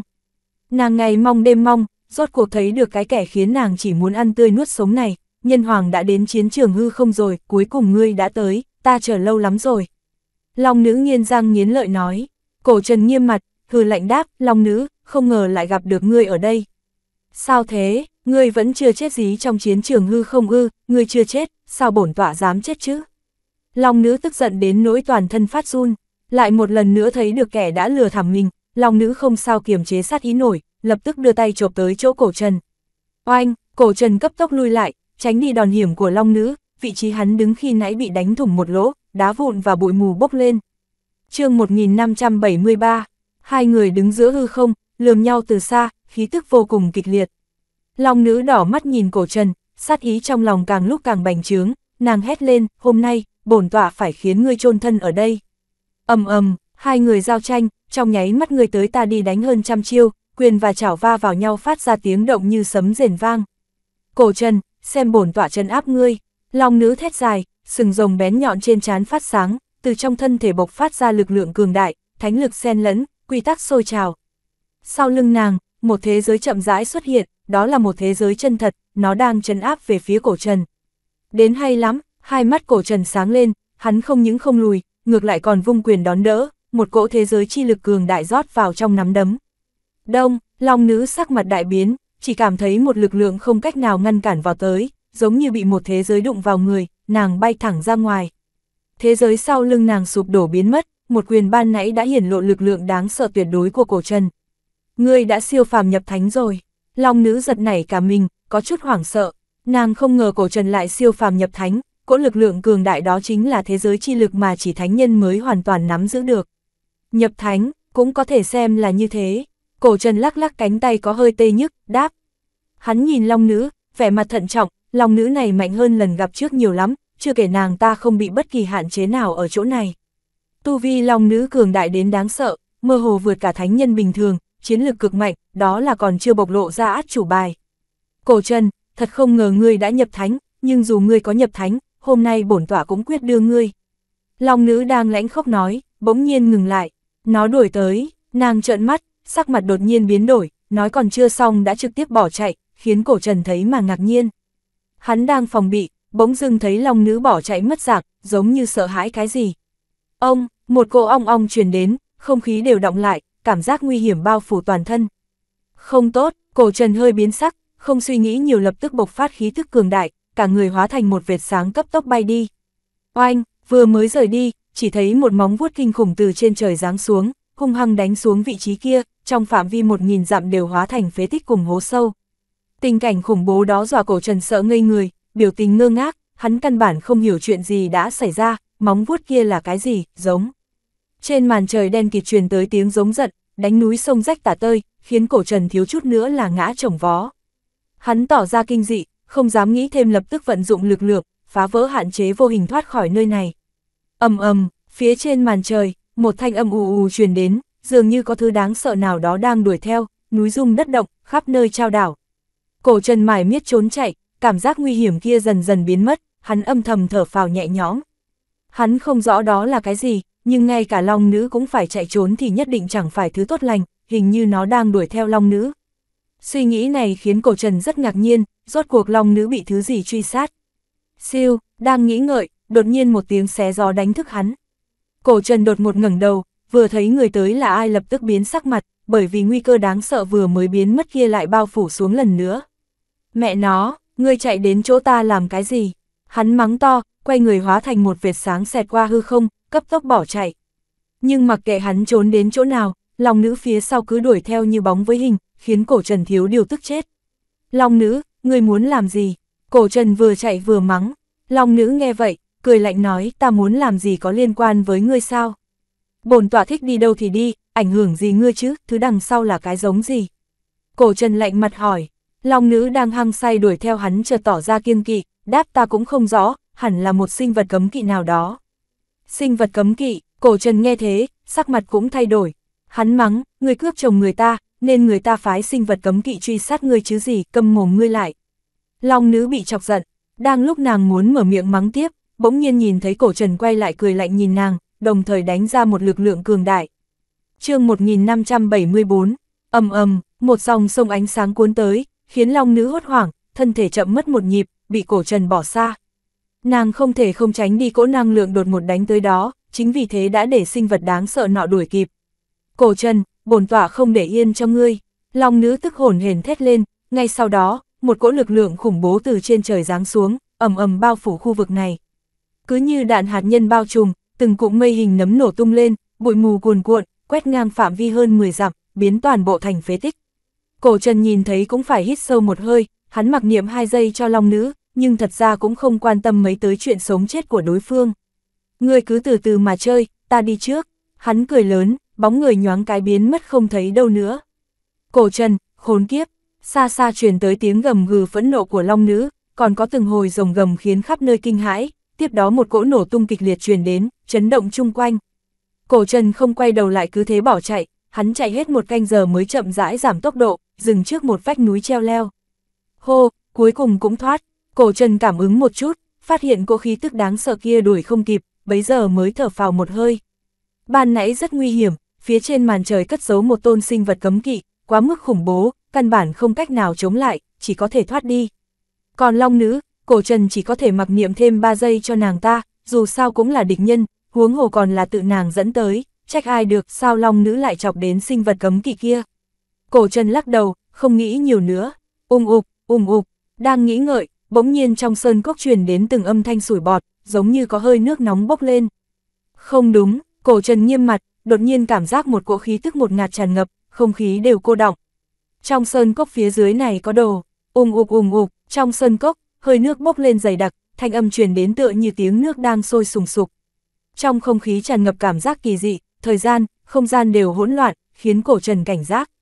Thời không hỗn loạn, cổ trần kinh nghi bất định, hắn cảm giác được bốn phía không gian, thời gian, sinh ra sự dao động, phảng phất như có thứ gì đó đang cố tình quấy nhiễu.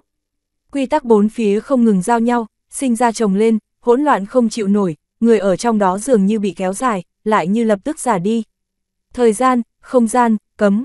Cổ Trần sử dụng sức mạnh không gian và thời gian chi lực, tạo một lớp phòng hộ quanh thân để tránh sự ảnh hưởng của thứ lực lượng quỷ dị vặn vẹo kia.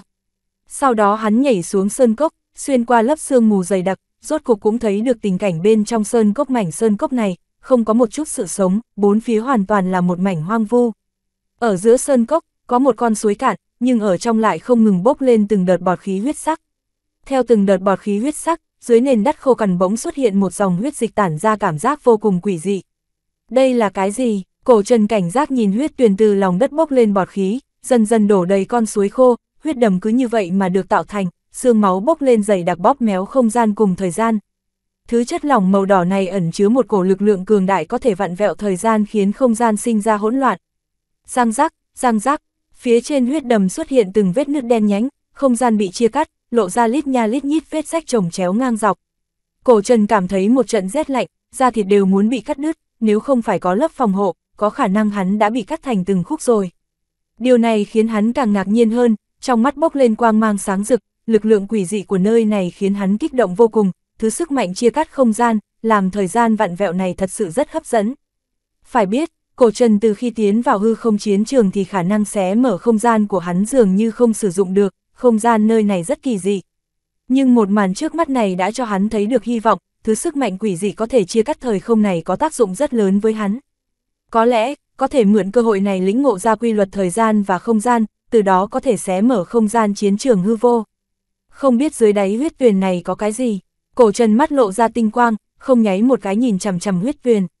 Phía dưới này, khẳng định cất giấu đồ vật, nếu không làm sao lại không ngừng bốc lên bọt khí huyết sắc chương 1575, mang theo một tia tìm tòi nghiên cứu, cổ trần cảnh giác tới gần, cách không hút tới một giọt máu quỷ dị, giọt máu rơi vào trên lòng bàn tay quay tròn chuyển động. Giọt máu này tản ra một cổ khí thức quỷ dị, không gian bốn phía xung quanh nó vặn vẹo như muốn phân tách ra. Cổ trần híp hai mắt, giữ lấy nó, sau đó bắt đầu từng chút từng chút xâm nhập vào, luyện hóa, lĩnh hội ảo diệu được giấu bên trong. Sau một khắc, giọt máu khẽ run lên, phát ra từng đợt ánh sáng đỏ, trên thân dần xuất hiện từng vết nứt màu đen. Vẹn vẹn trong tích tắc, cổ trần cũng cảm giác được một một trận lực lượng quy tắc huyền ảo tràn vào đầu, bên trong giọt máu quả nhiên ẩn chứa một chút thời gian, không gian chi lực rất cường đại. Loại lực lượng này, so với thứ sức mạnh hắn đang nắm giữ càng cường đại hơn không biết bao nhiêu lần, trách không được nó có thể chia cắt không gian, vặn vẹo thời gian như vậy. Nghĩ tới đây, cổ trần không chịu nổi vui sướng trong lòng, bắt đầu chuyên tâm luyện hóa, không ngừng lĩnh hội cùng hấp thu thời không chi lực ẩn tàng bên trong. Dần dần không gian và thời gian chi lực trong cơ thể hắn bắt đầu sôi trào, bao vây lấy thân thể hình thành một vòng sáng bao phủ. Đột nhiên, cổ trần hé miệng khẽ hút, bên trong huyết tuyển bay ra một cỗ huyết dịch tiến vào miệng, bị một đám lửa bao lấy luyện hóa. Hắn sử dụng hư vô chi diễm luyện hóa huyết dịch, tinh luyện thời không áo nghĩa bên trong, thu hoạch vô cùng. Cổ trần cứ như vậy khoanh chân ngồi bên cạnh huyết tuyền, không ngừng hấp thu thứ lực lượng kỳ bí, cường hóa thời không chi lực của mình. Thời gian từng chút từng chút trôi qua, vòng sáng quấn quanh thân thể hắn càng ngày càng mãnh liệt, thời gian, không gian, hai cỗ lực lượng không ngừng tăng cường. Huyết tuyền từ từ giảm bớt, huyết dịch bên trong lấy tốc độ mắt thường có thể thấy cạn dần theo sự hấp thu luyện hóa của cổ chân. Đến khi huyết tuyền triệt để khô cạn, dưới mặt đất xuất hiện một cái hố đen như mực lại một lần nữa tuông trào cuồn cuộn bọt khí huyết sắc, ùng ục ùng ục phun trào huyết dịch nóng bỏng. Cổ Trần bỗng nhiên mở mắt, hai đạo quang mang lóe lên một cái rồi biến mất, khí tức trên người trở nên càng thêm thâm thúy, đáng sợ, khiến người ta không chịu được phải quỳ xuống. Thời không chi lực thật cường đại, hắn sợ hãi than một câu, cổ Trần hơi kinh nghi, nơi này làm sao lại có huyết tuyển ẩn chứa thời không chi lực, lòng đất đến cùng là cất giấu thứ quỷ gì. Mang theo nghi vấn, cổ Trần đánh một trường xuống mặt đất, ầm ầm một tiếng, huyết dịch chợt phun trào lên từ khe nứt.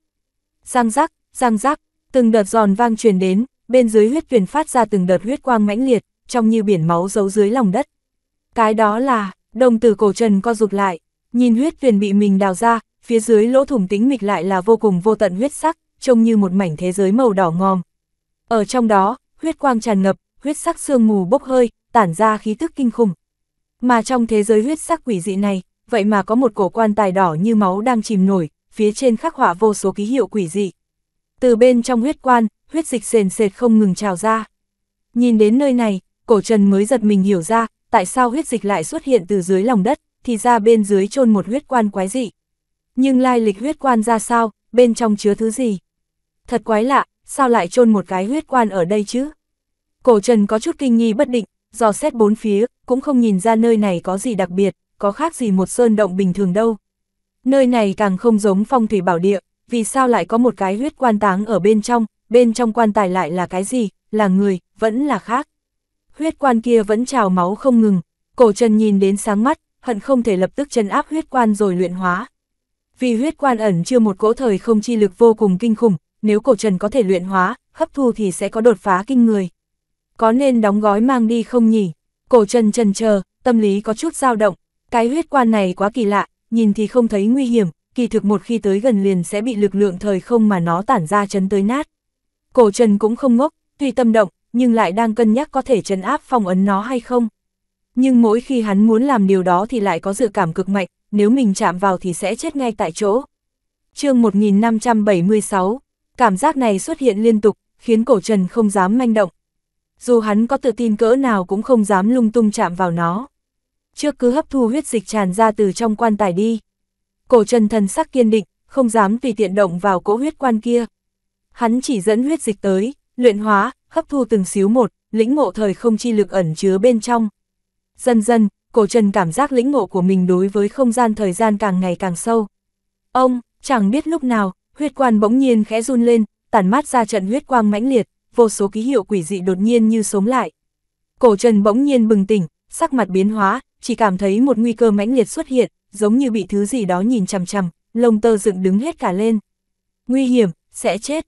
Xoẹt, hắn không chút nghĩ ngợi, quay người xé mở một khe hở không gian lập tức xông vào trong đó, chạy.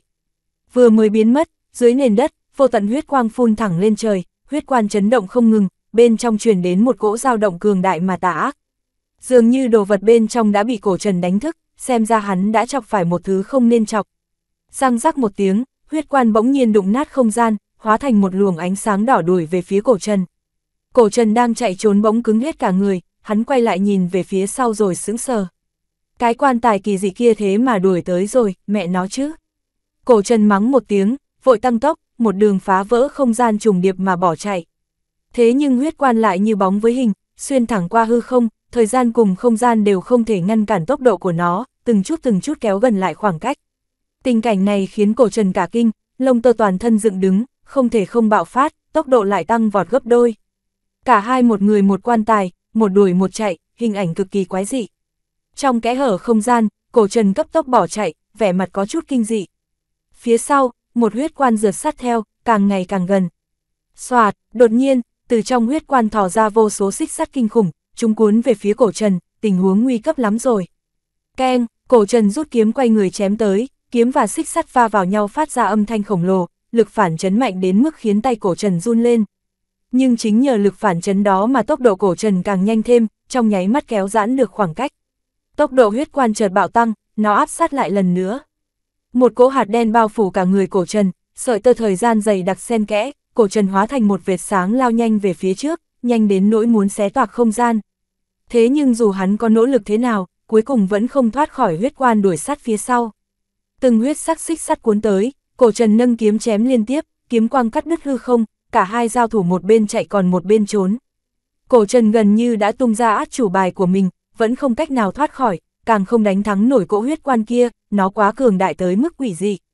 Thời gian chi lực, không gian chi lực đều vô hiệu đối với nó, khiến cổ trần cảm thấy trong lòng tràn ngập nguy cơ. Hắn chém hết kiếm này tới kiếm khác, kiếm ý cuồn cuộn cản được xích sắt truy kích, nhưng lại không thể giúp hắn thoát khỏi nguy hiểm.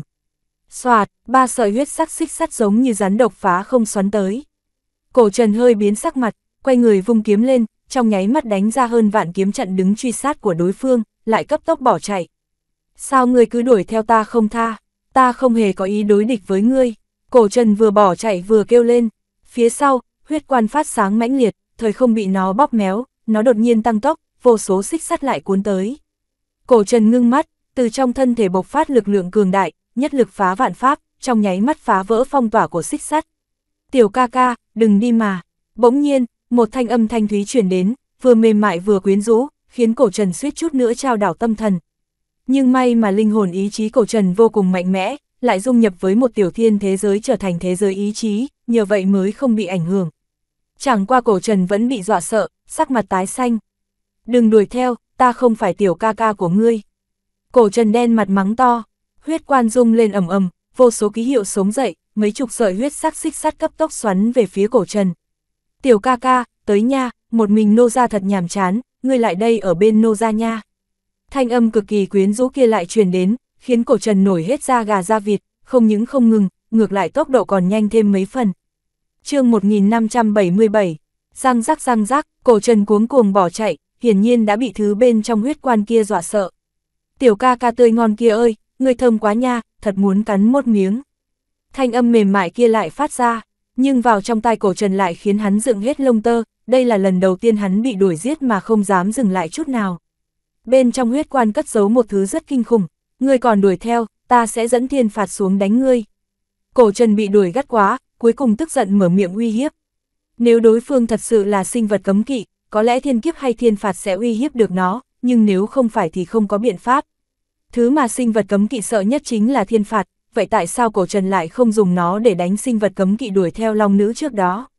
Hắn đâu có ngu, bộ người ta sẽ chờ hắn dẫn thiên phạt xuống sao? Hơn nữa, sinh vật kia là đuổi theo long nữ, chẳng liên quan gì tới hắn, việc gì phải dùng thiên phạt chọc đối phương kết thù. Tình huống lúc này lại khác, cỗ huyết quan kia đuổi theo hắn không tha, không còn cách nào, cổ trần chỉ có thể mạo hiểm dùng thiên phạt chi lực thử nó một chút. Thậm chí nếu cần, hắn sẽ dẫn động thiên kiếp, trực tiếp kéo huyết quan vào trong, như vậy có lẽ sẽ bước lui được nó. Đây cũng là phương pháp cuối cùng của cổ trần.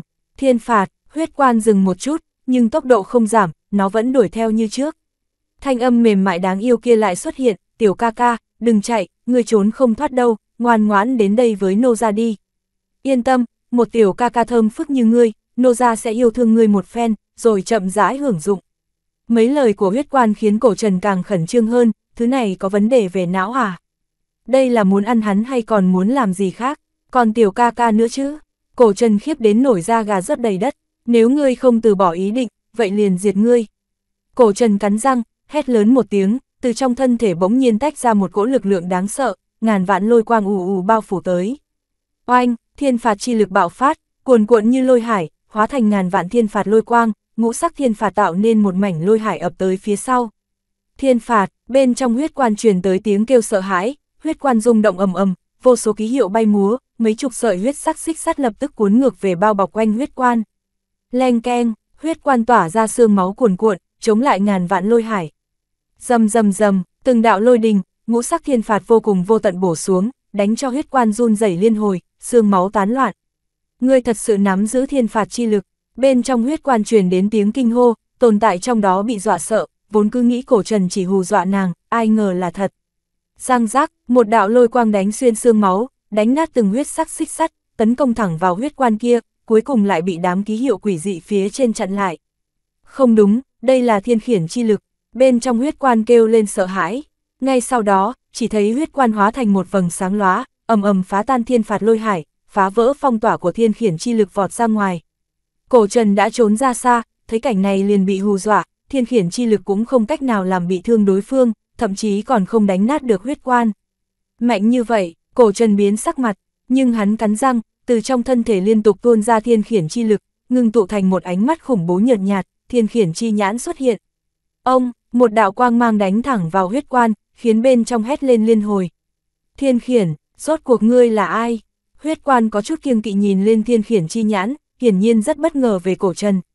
Hắn là ai? Sao lại nắm giữ được thiên khiển chi lực, thậm chí ngưng tụ được thiên khiển chi nhãn?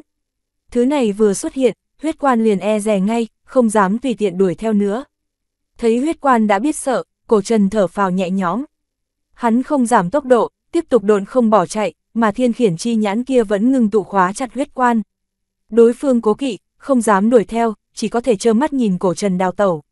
Ha ha ha, tiểu ca ca, nô gia càng ngày càng cảm thấy hứng thú với ngươi nha.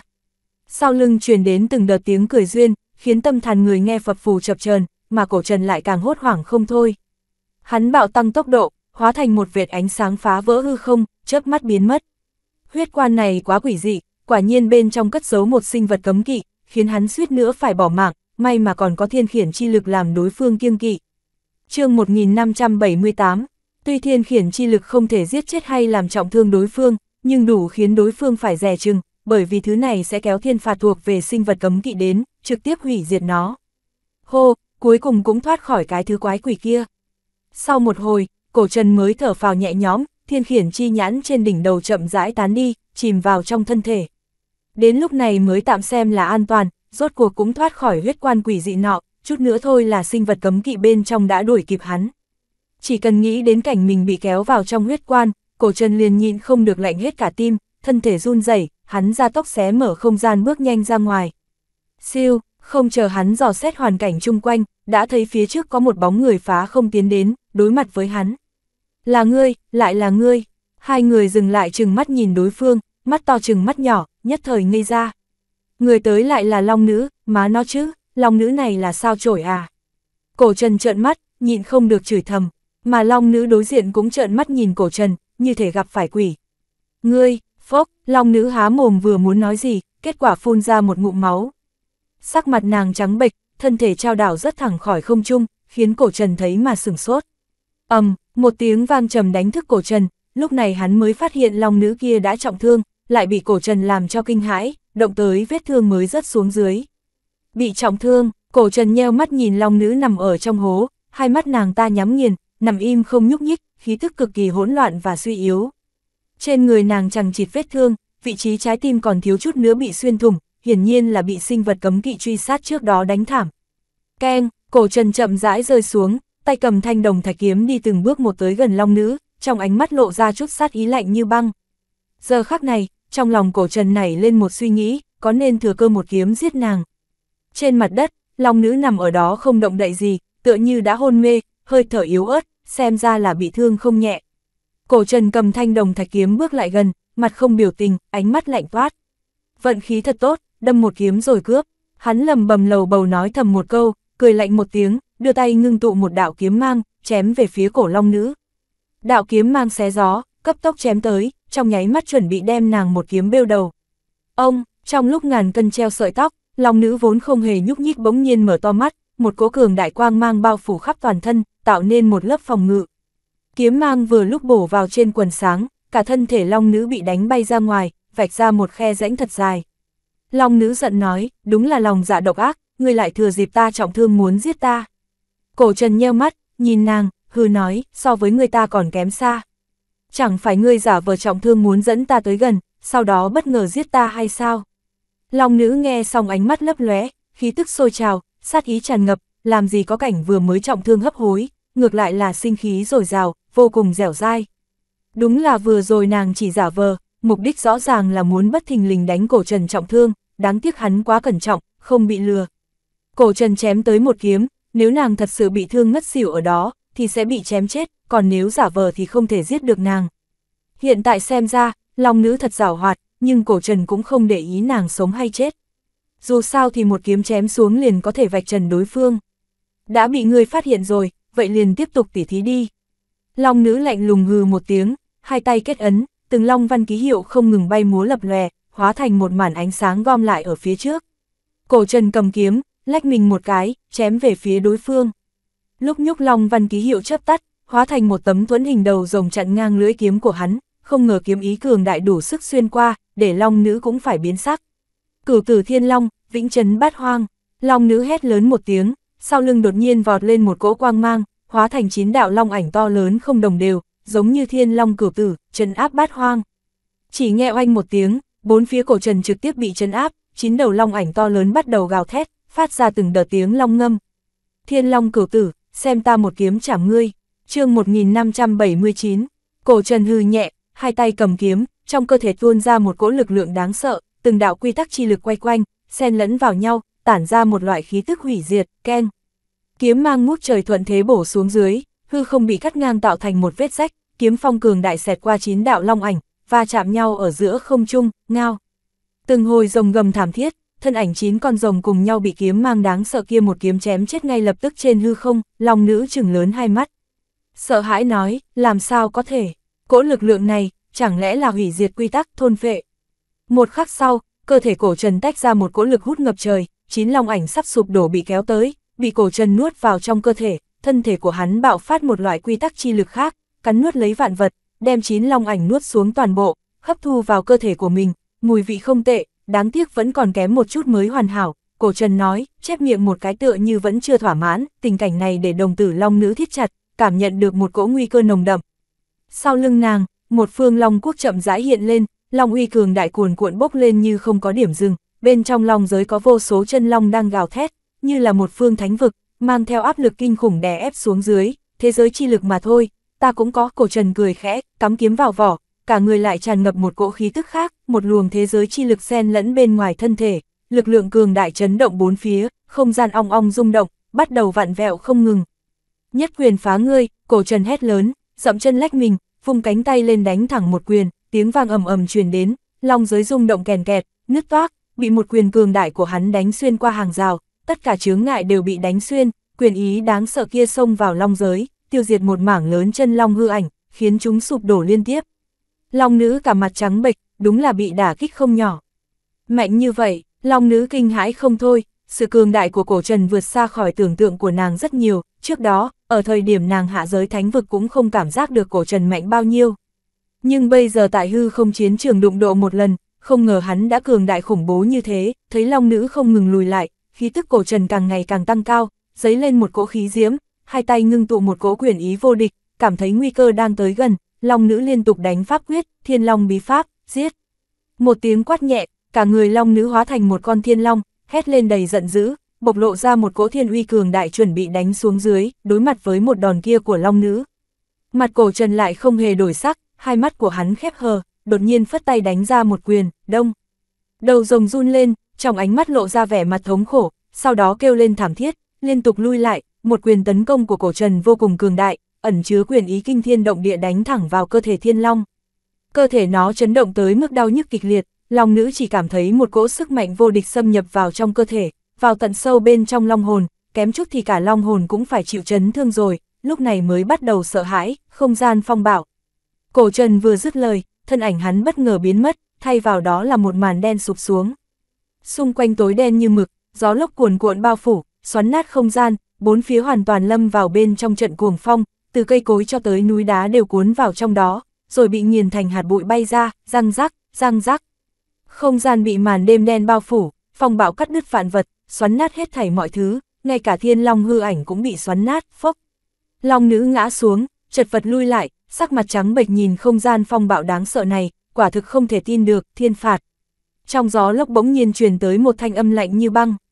Chỉ thấy không gian phong bạo vốn đang mạnh kinh khủng, bỗng nhiên một cỗ uy lực càng đáng sợ hơn lại tiếp tục bộc phát ra, ức vạn lôi đình bạo phát hợp nhất với trận cuồng phong tạo thành tình cảnh long trời lở đất, ầm ầm ầm quét qua vạn vật, hủy diệt hết thảy, long nữ nhìn thấy cũng kinh hồn bạt vía, không ngừng lui lại né tránh, sắc mặt khó coi cực kỳ, thân là một phương cường giả, siêu phàm nhập thánh, lại bị cổ trần ép tới mức không ngừng thoái lui, căn bản không tạo ra được bất kỳ thương tổn nào cho hắn.